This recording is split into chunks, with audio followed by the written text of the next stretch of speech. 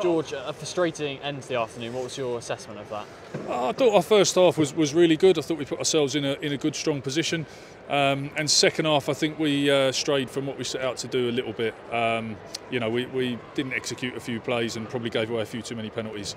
And um, yeah, in a, getting a yellow card here at Welford Road and being down really hurt us. So it was, um, you know, it was a fair outcome to be honest. And that first half in particular absorbed an awful lot of pressure, but then, then ter- in terms of in attack, we got some points and went into the lead. So you must have been impressed with that first half, but hoping for more of the second, I guess. Yeah, absolutely. Like it was, it was a dogfight of the first half, and, and I was pretty happy that we went in, uh, you know, in the lead there, and um, you know, we knew it was going to be a really hard second half, but you've got to be clinical. You've got to be really on point, and um, you know, if you if you lose a man, they're going to make you pay for it. And unfortunately, we, you know, we were probably uh, about 80. 85% of our game in the second half, and, and that little margin was, was enough for them to take advantage and, and a side like Leicester really do punish you if you, if you give away penalties and, and it, it, almost added up a little bit in the second half. The field position they really start to turn into points every time they visited the 22 and that ultimately yeah, I mean uh, those penalties in our half at the end. Obviously, they, they just kept slotting them through, and then you know the game gets away from you a little bit, and, and you're chasing it, and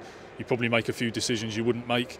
Um, and then they caught us out again. You know, we tried to run it from our own 22, and, and they caught us over, and we slip over, and they get another penalty, and the game's sort of dead and buried. So um, you know the boys fought hard. Look, their, their, their physicality, their work rate, you know, which you have to have to come somewhere like this, I, I thought was up a up a notch from uh, Exeter in our last game. But um, you know we're quite honest about it. We've got to be more clinical than that, and um, you know we, we have to take our medicine, but we definitely learn some valuable lessons from this one. And not quite getting that losing bonus point, which will be frustrating as well. But it's kind of credit to the, the way that, that, you know the players carried on fighting to be to be in with a shout, getting a losing bonus point in the end.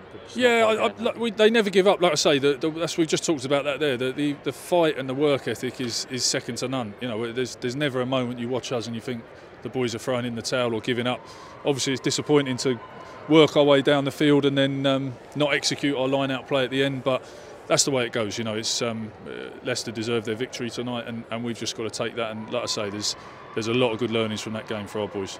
And as I said, there are lots of learnings and fuel for the fire for Northampton next week.